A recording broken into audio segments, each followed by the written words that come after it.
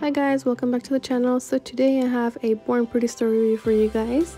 I will be leaving down below all the links to all the products, so make sure you check those out and also use the 10% off discount code as well with your purchase. So this is the UR Sugar base coat and top coat.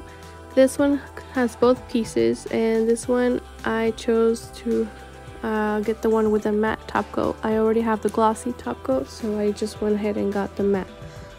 And let me tell you it is super super matte. It is great. And I also got these uh, Born Pretty brand uh, base, I mean glitter uh, gels and then these two are cat eye. So this one here is just a glitter gel and it's really really pretty and then this one is an orange and again look at that consistency it's great. I've already showed you guys a couple of these in past videos and then these are the cat eye and they are also with glitter. And this one here is one of my top favorites so far. It just gives me like that kind of a galaxy vibe and whatnot. Looks very very pretty.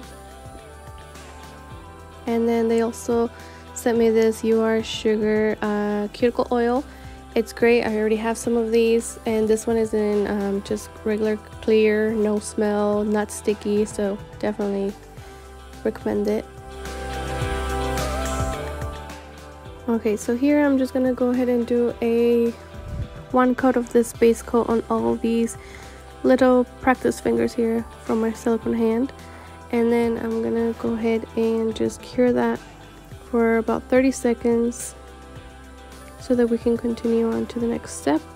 Um, it is always recommended to use a base coat so that your gel polish will adhere a little better. And since these are all UV LED so it cures really fast. And remember these are all soak off polishes. So that is a definitely plus. Alright so right now I'm gonna go ahead and show you guys I'm gonna use both of these just to kind of make a little quick design. One from the glitter and one from the cat eye.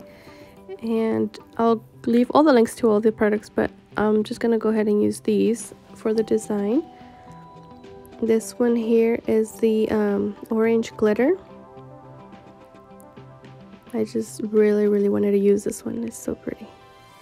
And right here on this finger it's gonna be just like a really thin coat just so you guys can see how uh, much pigmentation this color has. And then this one is the cat eye effect. Now this one is really really sheer. I would suggest using it on top of maybe a black gel polish first and then it would kind of look a little better making sure you have like a different color underneath it to make it pop because I did a couple of coats. So there I added uh, the first coat and then the second coat on these. The glitter one was okay with just one coat but then this one I went ahead and did three coats of them and remember to cure all your coats for 60 seconds alright so now here's the third coat. And then for this one like I said I would definitely recommend using a color underneath just so that you can make it pop. So I'm gonna go ahead and do the cat eye effect with this magnet. And I'm just kind of going sideways and once I'm satisfied with how it looks as you can see it there then I just pop it back into the lamp and cure and now all that's left to do is to top coat it. And I will be using um, the matte top coat just to show you guys how matte it is on one of the fingers. And just cure that for 60 seconds and we're done. And then we're just gonna go ahead and add our cuticle oil. Massage it in and we're done. I hope you guys liked this video. I really enjoyed using these products.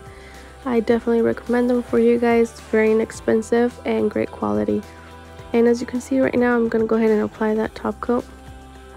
And remember it's matte. It's super matte you will see right now. And thanks for watching. We'll see you guys on the next one.